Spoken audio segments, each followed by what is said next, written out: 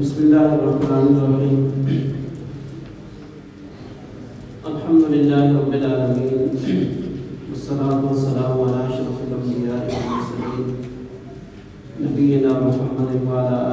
وأصحابه وأصحابه وأهل بيته ومن تبعهم بإحسان إلى يوم الدين.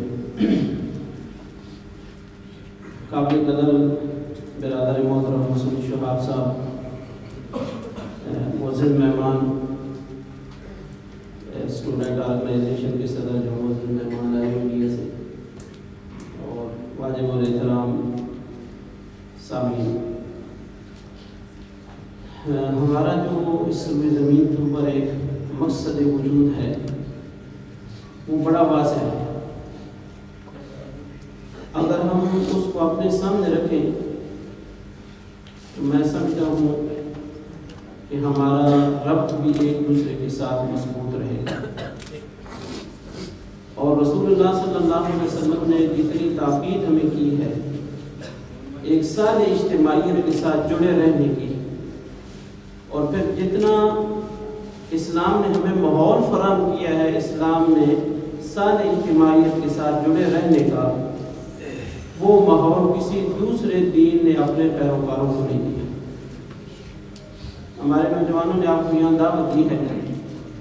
یہ کوئی رسمی اجتماع نہیں ہے کہ چند لوگ آئیں تقریر کر کے چلے جائیں اور آپ سن کر کے بھی چلے جائیں۔ بلکہ اس اجتماع کا ایک مقصد کہ اجتماعیت معاشرے کے اندر اس اصول اور ضابطے کے تحت کھڑی کی جائے جو رسول اللہ صلی اللہ علیہ وسلم نے امت کو دیا ہے۔ علیکم بالجماع وَإِيَّاكُمْ وَالْفُرْقَ جماعت کو لازم کرو فرقوں سے اجتناب کرو جتھبدیوں سے بچو، پارٹی اور مسلک کی تعریف کرنے اور ان کے اندر غرق رہنے سے بچو، بلکہ ایک ایسی ساری اجتماعیت کا ساتھ دو جس کی بنیادوں میں قرآن اور سنت ہے۔ وَعْتَسِمُوا بِحَبْلِ اللَّهِ جَمِيعًا وَلَا تَفَرَّقُوا۔ اللہ کی رسی کو سب مل کر کے مضبوطی کے ساتھ پکڑ لو رسی سے مراد کیا ہے؟ حبل اللہ کوئی اسمان سے لٹکی ہوئی نہیں ہے کہ کسی گراؤنڈ میں جائیں اور ہم پکڑ کر کے کھینچے اور مظاہرہ کریں کہ ہم نے رسی پکڑ لی ہے۔ حبل اللہ سے مراد قرآن ہے۔ حبل اللہ سے مراد رسول اللہ صلی اللہ علیہ وسلم کی تعلیمات ہیں۔ ان کو مضبوطی سے پکڑا جائے جو کسی خاندان، قبیلے، مسلک، برادری اور علاقے کی ترجمانی نہیں کرتے، بلکہ اللہ کے دین کی طرف بلاتے ہیں۔ آپ دیکھیں، جس طرح بچے کے تصور کے ساتھ ماں کی گود کا تصور بھی آ جاتا ہے، بالکل یہی تعلق اسلام کا اجتماعیت کے ساتھ ہے۔ جس طرح ایک مچھلی پانی کے بغیر زندہ نہیں رہ سکتی، اسلام بھی اجتماعیت کے بغیر زندہ نہیں رہ سکتا۔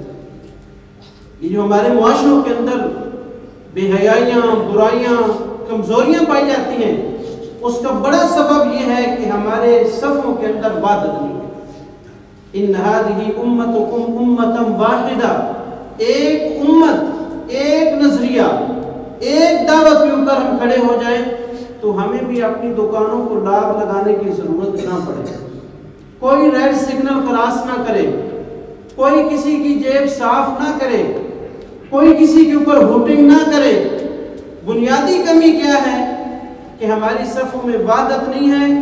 جب وعدت ہوگی احساس سے ہمدردی بھی آئے گا۔ جب وعدت ہوگی، تو دین کا فہم نہیں ملے گا۔ اور پھر جب وحدت ایک ایسی اجتماعیت کے ساتھ ہوگی، جو ایک دوسرے کے دکھ درد کے اندر شریک رہتی ہے، روحانی غذا فراہم کرتی ہے، تو تب ہمیں اپنے اندر دین کا احیاء بھی نظر آئے گا۔ بھائیوں اور دوستوں، دنیا کے اندر دو طرح کے رجحان پائے جاتے ہیں۔ ایک رجحان یہ ہے کہ تن آسانی، ڈیوٹی سے آیا، کمرے میں چلا گیا، کوئی گھنٹہ ایک موبائل کو دے دیا، کوئی دس پندرہ منٹ ٹی وی کو دے دیے کوئی پندرہ منٹ اپنے بچوں سے بات کر لی، اتنا آسانی ہے۔ پھر اگلی صبح ڈیوٹی کی تیاری کی اور نکل گیا۔ کچھ لوگ ایسے ہیں جو تن آسانی سے بیر نکلتے ہیں، لیکن ان کے دین کا مزاج ہی ہے کہ ہم رہ بن جائیں، ہم جوگی بن جائیں۔ مخصوص انداز دین کا اپنا لیں، چادریں لے کر کے مسجد کے اندر بیٹھ جائیں۔ وہی ذکر و تسبیح ہو، یہ دین مسجد کا دین نہیں ہے۔ ابھی ہمارے ہجری کیلنڈر کا آغاز ہوا ہے اور آپ نے دیکھا ہوگا کہ اس کیلنڈر کی نسبت رسول اللہ کی پیدائش کے ساتھ نہیں ہے، آپ کی وفات کے ساتھ نہیں ہے، فتح مکہ کے ساتھ نہیں ہے۔ جس دن حضور نے خطبہ حج دیا اور دین کی تکمیل کا اعلان کیا، اس دن کے ساتھ نہیں ہے۔ اس کیلنڈر کی نسبت ہجرت کے ساتھ کیوں ہے؟ جس دن بے بسی کے ساتھ مسلمان نکل رہے تھے۔ اس واقعہ کے ساتھ کیوں ہے؟ جس دن، جس واقعہ نے ہمیں بے بسی کے ساتھ دیر نکلنے پہ مجبور کیا ہوا تھا، ہم بالکل ایک مظلومیت کی تصویر بنے ہوئے تھے۔ نہیں، ہجرت کے ساتھ اس کیلنڈر کی نسبت بھی اسی لیے رکھی گئی ہے کہ ہم نے جان نہیں بچانا۔ ہجرت جان بچانے کا نام نہیں وفاد اور پراپرٹی کی حفاظت کا نام نہیں ہے، بلکہ ہجرت نظریے کے دفاع کا نام ہے۔ ایک سال اجتماعیت کو وجود دینے کا نام ہے۔ جو ماحول مکہ کے اندر نہیں مل رہا تھا، گھر بار چھوڑنے کے بعد دوسری جگہ پہ جا کر کے وہ ماحول ہمیں ملا اور ایک سال اجتماعیت وجود میں آئی، جس کی بنیاد پہ پھر ایک ریاست اور پھر وہ ریاست لاکھوں مربع میل تک پھیلتی گئی۔ بھائیوں اور دوستوں، ہم دیکھیں تو ہمارے دین کا جو مزاج ہے، وہ بھی اجتماعی ہے۔ نماز کو ہم دیکھیں تو اسلام کی تعلیم کیا ہے؟ سب مل کر کے نماز پڑھے اور قبلہ رخ ہو کر کے نماز پڑھے کسی کو یہ نہیں کہا کہ کسی دوسری طرف کر لو، کیوں؟ قبلہ رخ ہو کر کے اپنی ملت کے ساتھ ربط، اجتماعیت، تاکہ دنیا تمہیں ایک سمجھے۔ تم گورے ہو، کالے ہو، چھوٹے ہو، بڑے ہو، امیر ہو، غریب ہو، کسی علاقے سے بھی تمہارا تعلق ہے۔ تم سب جب قبلہ رخ ہو کر کھڑے ہو گئے، تو دنیا کہے گی کہ اپنی ملت اور اپنے ایمان کے مرکز کے ساتھ جڑا ہوا ہے۔ ایک امت بنا ہوا ہے۔ اسی طرح سے ہمیں حکم ہے کہ جب نماز میں آئیں تو سب بنا کر کے کھڑے ہو۔ یہ نہیں کہا گیا کہ قبلہ رخ تو ہو جاؤ، لیکن جس کو جہاں موقع ملے جہاں کھڑا ہو جائے۔ نہیں۔ سب بندی ضروری قرار دی گئی۔ سب فن کا انہم بنیاد مرسوس ایک سیسا پلائی ہوئی دیوار۔ یہ ہماری عبادت ہمیں یہ دعوت دے رہے عمل کہ اپنی ملت کے ساتھ ربط مضبوط رکھو۔ پوستر شجر سے امید بہار نہ۔ اس امید، اس بہار کی طرف سفر کرنا ہے، جس بہار کے رنگ میں ہم نے اس دنیا کو رنگنا ہے۔ آج اس مغربی اور جدید تہذیب نے بھی کیا دیا ہے؟ ہمارا لباس ہم سے چھینا ہے۔ ہمارے خاندانی نظام کے اوپر انہیں اٹیک کیا ہے۔ ہمیں فطرت سے ہٹانے کی کوشش کر رہے ہیں۔ اور آئے روز فطرت سے ہٹایا جا رہا ہے۔ ہمارا مذہب ہمیں فطرت کے ساتھ جڑنے کی تعلیم جڑنے کی تعلیم دیتا ہے۔ اس لیے بھائیوں اور دوستوں یہ رب کے ساتھ صفن کرنا بنیاد مرسوس ایک منت، ایک امت بننا نماز کا ہر رکن ہمیں دعوت دے رہا ہے۔ نبی مہربان صلی اللہ علیہ وسلم نے کہا، من صلی صلاتنا واستقبل قبلتنا واکل ذبیحتنا فذلك الذي مسلم جو ہمارے قبلے کی طرف منہ کر کے نماز پڑھتا ہے، ہماری طرح کی نماز پڑھتا ہے، ہمارا ذبیحہ کھاتا ہے۔ فذلك الذي مسلم، وہ ایک ملت ہے۔ مسلمان ہے، ایک قوم ہے، ایک فیملی ہے، ایک خاندان ہے۔ لہذا اس فیملی اور خاندان کو نہ توڑا جائے۔ پھر آپ نماز کے بارے میں دیکھیں، گھر میں نماز پڑھیں، اس کا ثواب کم۔ انفرادی نماز پڑھیں تو جماعت سے ستائیس گنا کم۔ جماعت کے ساتھ پڑھیں تو ستائیس گنا زیادہ کیوں ہے وہی ارکان نماز کے ہیں، وہی قرآن کی جا رہی ہے۔ اسی طرح کے کلمات، وہی سجدے کی جگہ کے اوپر نظر ہے، وہی ہاتھ باندھے ہوئے ہیں۔ اس کا ثواب زیادہ کیوں ہے؟ کہ اب وہ عبادت کے لیے کھڑا ہے، لیکن ملت کے ساتھ جڑ کر کے کھڑا ہے۔ اجتماعیت کی تصویر بنا ہوا ہے۔ پھر آپ دیکھیں رسول اللہ صلی اللہ علیہ وسلم نے اس اجتماعیت کے اندر رکھنے ڈالنے والے فطر ملت سے کنارہ کشی اختیار کرنے والے کے بارے میں کیا وعید کی؟ آپ نے کہا میرا جی کرتا ہے کہ میں مسلح کے اوپر کسی اور کو کھڑا کروں امامت کے لیے۔ میں لوگوں کے گھروں میں دیکھوں اور ان لوگوں کو دیکھوں جو گھروں کے اندر بیٹھ رہتے ہیں، جماعت کے لیے نہیں آتے۔ اس میں جماعت کی فضیلت بھی ہے، لیکن اس میں دوسرا جو سبق ہے وہ یہ ہے کہ وہ جماعت سے بیٹھ کیوں رہ جاتے؟ ہیں اللہ کے رسول نے کہا، میرا جی کرتا ہے کہ میں ان کے گھروں کو آگ لگا دوں، مجھے خوف لاحق ہوتا ہے بچوں کا اور عورتوں کا۔ ان کا اس کے اندر کوئی قصور نہیں ہے۔ اس لیے بھائیوں اور دوستوں نماز کی ہر ادا کے اندر رسول اللہ صلی اللہ علیہ وسلم صف بندی کر رہے تھے۔ ایک شخص کا تھوڑا سینہ آگے نکلا ہوا تھا۔ اللہ کے رسول نے کہا، لوگوں، اپنی صفوں کو سیدھا رکھا کرو۔ ایک تصویر بالکل سیدھی صفوں کو رکھا کرو۔ اگر تم آگے پیچھے ہوگے، صفوں کے اندر ٹیڑھ ہوگی تو اللہ تعالیٰ تمہارے دلوں کو ایک دوسرے کی طرف پھیر دے گا۔ ناراضگیاں پیدا ہوں گی، عداوتیں جنم لیں گی، اس لیے امیر اور غریب کی تفریق مٹا دی گئی۔ تو نماز اسلام کا جو اہم رکن ہے، جو اسلام کی چوٹی ہے، اس کو بھی ایک ایسے نظم و ضبط کے ساتھ، ایسے حسن کے ساتھ سمو دیا گیا ہے، جس کے اندر ایک ملت کا رنگ نظر آتا ہے۔ آپ دوسری عبادت دیکھیں۔ دوسری عبادت جو ہے، زکوٰۃ ہے۔ زکوٰۃ کا تعلق دو افراد کے ساتھ ہے، ایک لینے والا اور ایک دینے والا۔ لیکن رسول اللہ صلی اللہ علیہ وسلم نے جمع کے استعمال کیے۔ تو من اغنیائہم۔ آپ کے مالداروں سے دی جائے گی اور کس کو دی جائے گی؟ فقرائہم۔ تمہارے فقیروں کو دی جائے گی۔ جمع کسی کا استعمال کیا کہ تم ایک ملت ہو، ایک قوم ہو ایک قوم بن کر کی جیو پھر زکوٰۃ میں، مصارف زکوٰۃ کو دیکھیں۔ انما الصدقات للفقراء، للفقیر نہیں کہا۔ والمساکین، والمسکین نہیں کہا۔ والعاملین والعامل نہیں کہا۔ جمع کسی بھی استعمال کی ہے، ایک ملت بن کر کے رہو۔ پھر آپ دیکھیں، روزے، رمضان کو آپ دیکھیں۔ رمضان کا مہینہ آتا ہے۔ یورپ میں جہاں لمبے دن ہیں، ان کو یہ نہیں رعایت دی گئی کہ تم چھوٹے دنوں میں روزہ رکھ لو۔ عرب کے اندر تپتی دھوپ اور سہرار ہوتی ہے، گرمی ہوتی ہے، شدت کی۔ ان کو یہ نہیں کہا گیا کہ تم سردیوں میں روزے رکھ لو۔ رمضان کا مہینہ جب بھی آ جائے، جہاں موسم گرم ہے یا سرد ہے، پوری دنیا کے مسلمانوں کو ایک ملت بن کے اسی مہینے کے اندر روزے رکھنے ہیں۔ شوال میں وہ نہیں رکھ سکتے فرض روزے، ربیع الاول میں نہیں رکھ سکتے شابان میں نہیں۔ ایک رمضان کے مہینے میں اس فرض کو ادا کر کے دنیا کو یہ پیغام دینا ہے ایک ملت ہے، ایک امت ہے، ایک قوم ہے۔ پھر آپ دیکھیں، حج کو دیکھیں۔ حج کا اجتماع، عالمی اجتماع ہوتا ہے۔ دنیا بھر سے لوگ آئے ہوتے ہیں۔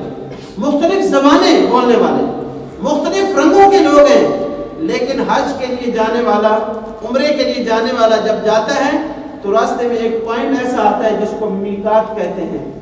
حکم یہ ہے کہ وہاں سے اپنا قومی لباس اتار دو۔ اپنی دستاریں اور جبے اتار دو۔ اپنے سر کو مردوں کے لیے، اپنے سر کو کھلا رکھو۔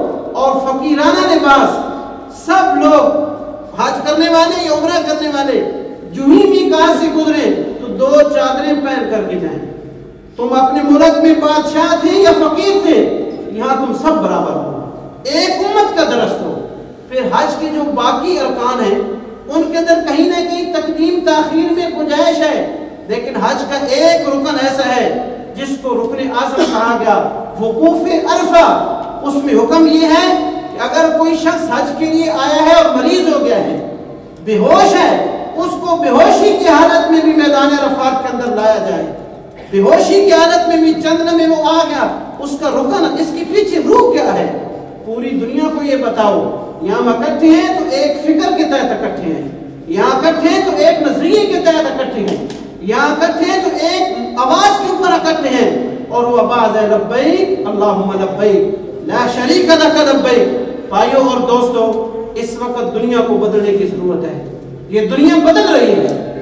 بڑی تیزی کے ساتھ بدل رہی ہے۔ لیکن میں دیکھتا ہوں مسلمان پیچھے ہیں۔ مسلمان اپنے نظریے کے ساتھ وفاداری نہیں کر رہا۔ وہ دنیا کی حالات کے ساتھ اپنے آپ کو بدل رہا ہے۔ جبکہ ملت کے نوجوان کے اوپر یہ فرض ہے خیر امت مخرجت للناس تکبرون بالمعروف وتنہون عن المنکر۔ تم نے دنیا کو دین کے مزاج کے ساتھ بدلنا ہے۔ ہم اپنی ذات کے لیے لڑتے ہیں، اپنے عہدے اور منصب کے لیے لڑتے ہیں، اپنے کاروبار کے لیے لڑتے ہیں۔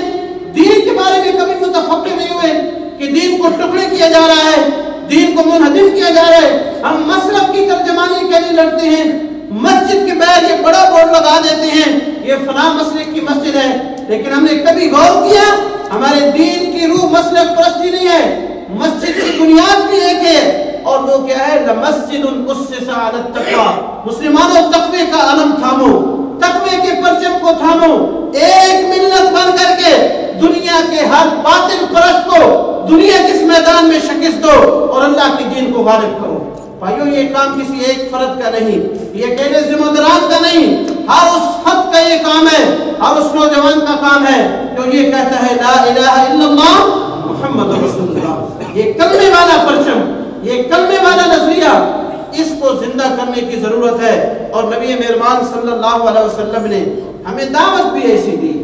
عربوں کی طرف آپ نے نہیں بلایا، آپ نے قریش کی طرف نہیں بلایا۔ آپ نے کس طرف بلایا؟ کلمت واحدت تؤتینیہا تملکون بہت عرب وتدین لکم بہت عجم ایک کمرہ ایک کلمہ ہے فَإِن تَقْبَلُوا مِنِّي مَا جِئْتُكُمْ بِهِ فَوَخَذْتُكُمْ فِي الدُّنْيَا وَالْآخِرَةِ. اس کلمے کو اگر تم مجھ سے قبول کر لو، تو نبی مہربان صلی اللہ علیہ وسلم نے فرمایا، دنیا اور آخرت میں تمہارے لیے کامیابی ہے۔ وہ کلمہ کیا ہے؟ ضرب اللہ مثلا کلمة طیبة كشجرة طیبة اصلها ثابت وفرعها في السماء. ایک ایسا کلمہ جو پاکیزہ ہے، اس کی مثال ایک ایسے درخت کی مانند ہے، جس کی جڑیں زمین کے اندر گہری ہیں اور جس کی شاخیں آسمان کو چھو رہی ہیں۔ تو تی اکلہا کل حین باذن ربها ويضرب الله الامثال۔ وہ کلمہ ایسا کلمہ ہے جو سدا بہار ہے۔ جس کے اوپر کبھی خزاں کا کوئی تصور ہی نہیں آ سکتا۔ بھائی ہم آپ کو کلمے کی طرف بلا رہے ہیں۔ جس دن آپ محسوس کریں کہ یہ لوگ کلمے سے ہٹ رہے ہیں، اسی دن پیچھے ہٹ جانا۔ لیکن کلمے کے لیے ہمارا ساتھ دیں۔ کلمے کے اوپر کھڑے ہو جائیں۔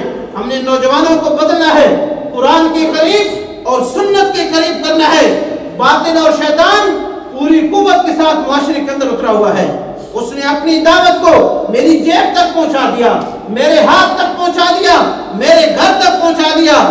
انٹرنیٹ کی صورت میں، مختلف ویب سائٹ کی صورت میں وہ اپنا کام کر رہا ہے۔ لیکن نوجوانوں، ہمیں دیکھنا یہ ہے، کبھی تنہائی میں ہم سوچیں، میں کہاں کھڑا ہوں؟ میں ابھی کس میدان کے اندر ہوں؟ میں کس جہان کے اندر رہ رہا ہوں؟ ہمارا پیغام آپ کے نام یہی ہے کہ کلمے کے اوپر اکٹھے ہو کر کے اپنی ملت کے ساتھ اپنے ربط کو مضبوط کریں۔ یہ امت ایک ایک امت، ایک نبی، ایک قرآن، ایک رب کو ماننے والی امت کی پہچان مسلمان کے علاوہ کوئی دوسری پہچان نہیں ہو سکتی۔ کلمے کے علاوہ کوئی دوسری پہچان نہیں ہو سکتی۔ یہ ہماری اپنی بنیادیں ہیں۔ میں فلاں مسلک کہوں میں فلاں مسلک کہوں رسول اللہ نے دین ادھورا نہیں چھوڑا۔ دین مکمل کر کے گئے ہیں اور امت کو یہ کہہ گئے ہیں، انتم تسألون انی فما انتم قائلون تم سے میرے بارے میں پوچھا جائے کہ محمد صلی اللہ علیہ وسلم نے اپنی ذمہ داری ادا کی، تم کیا جواب دو گے؟ سب کا جواب ایک تھا۔ لاکھ سے زائد کا مجمع تھا۔ اس میں کسی نے اپنا انفرادی جواب نہیں، ایک ہی جواب دیا۔ ہم کہیں گے قالو نشہدو انکا قد بلغتا ادیتا ونسختا پائیو صحابہ نے کہا، یا رسول اللہ، ہم گواہی دیں گے آپ نے دین پہنچا دیا، پہنچانے کا حق ادا کر دیا، کھرے کھوٹے میں تمیز کر دی۔ ایک ملت بنا کر کے آپ گئے ہیں۔ کسی مسلک اور فرد کی ترجمانی کی طرف آپ نے نہیں بلایا۔ ہمارا بھی آپ سے یہ مطالبہ اور یہ دعوت ہے۔ ہمارے نوجوان اخلاص کے ساتھ آپ کے پاس جاتے ہیں۔ کبھی کوئی کتاب دیتے ہوں گے، کوئی سی ڈی دیتے ہوں گے، تاکہ آپ اس کو پڑھیں، سمجھیں، خوب سمجھیں۔ کوئی ذہن میں سوال ہو تو آپ کر سکتے ہیں۔ کہ آپ کس مسلک کے ترجمان ہیں؟ ہم بتائیں گے، ہمارا مسلک اسلام ہے۔ اسلامی ہمارا اور نور بچھونا ہے۔ اور اسلامی اس امت کو کہہ رہا ہے کہ شہادت حق کے لیے کھڑے ہو جاؤ۔ اس دین کو قائم کرنے کے لیے کھڑے ہو جاؤ۔ آپ ذرا غور کریں۔ سورہ شورہ کے اندر اللہ تعالیٰ نے نبی مہربان صلی اللہ علیہ وسلم کو کہا، شرع لکم من الدین، ما وصا به نوحا والذی اوحینا الیک ما وصینا به ابراہیم وموسیٰ وعیسیٰ ہم نے تمہارے لیے دین کا وہی طریقہ تجویز کیا۔ ایک امت، ایک ملت، وہی طریقہ تجویز کیا ہے، جس کا حکم ہم نے نو علیہ السلام کو دیا، ابراہیم علیہ السلام کو دیا، عیسیٰ علیہ السلام کو دیا۔ اور ہم نے تاکید کیا کی ان اقیم الدین ولا تتفرقو اس دین کو بالا دست رکھنا قائم رکھنا، اس دین کے اندر تفرقے نہ بنانا، اس دین کے اندر الگ جماعتیں نہ بنانا، اس دین کے اندر نئے نظریات نہ لے آنا، اسی دین کا محافظ بن کر کے کھڑے ہونا۔ نوجوانوں کے نام علامہ اقبال کا پیغام ہے۔ بازو تیرا توحید کی قوت سے قوی ہے، اسلام تیرا دیس ہے، تو مصطفی ہے۔ مصطفیٰ صلی اللہ علیہ وسلم کو ماننے والوں ایک ملت بن جائیں، ایک خاندان اور قبیلہ بن جائیں، تاکہ ہماری صفوں میں کبھی شیطان کی دعوت نہ بسے۔ اللہ تعالیٰ میں قرآن و سنت کی صحیح انشاءاللہ انشاءاللہ انشاءاللہ۔